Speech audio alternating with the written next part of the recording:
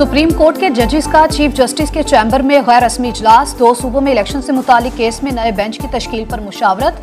Justice Aminuddin Khan की माजरत के बायस पाँच रुकनी लार्जर बेंच टूट गया था।